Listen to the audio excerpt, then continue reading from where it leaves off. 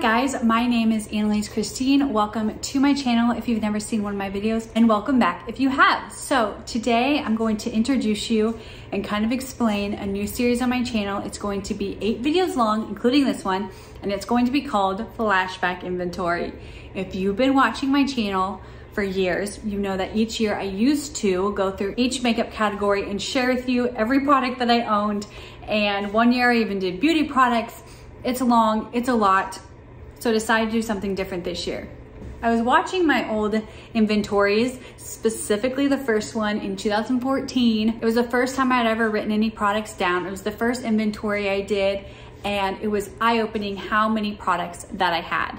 So in 2014, I had 262 products. I will say I currently have 237, so we haven't gone down by a lot.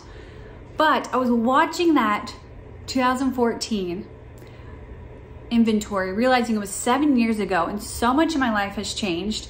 I was still in college, living very much in a college rental. I was married. I've been married for a long time.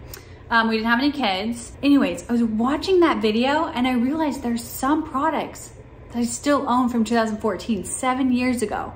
So then I became curious, how many products do I still own from 2014? I did the math. I'm a math person, love numbers. 95 products. 95, 95 products are from 2014 or earlier because that's when I did it, seven years ago. That's 36% of my collection. Again, math person. There are three big categories that they come from and it makes total sense to me. Um, and I have been working on my collection if you've been watching my videos, but knowing this information knowing which products were from 2014 or earlier, they will be in 2022's Pan That Palette Project Pans. I'm gonna start a lip product Project Pan in 2022 because I really want to focus on these products because seven years is a lot.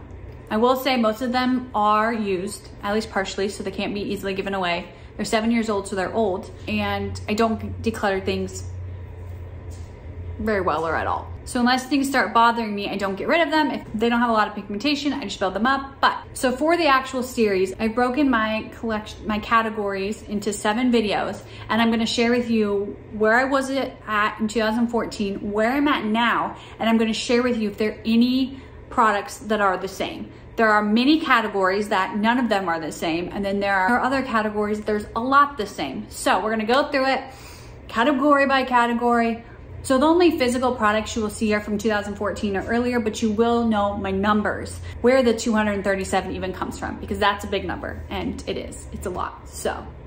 I hope you enjoy this series. Let me know if you know of anyone that's done anything like this. If you wanna do it, let me know, because I think it's a fun idea to kind of see. I hope you have a wonderful day. Bye.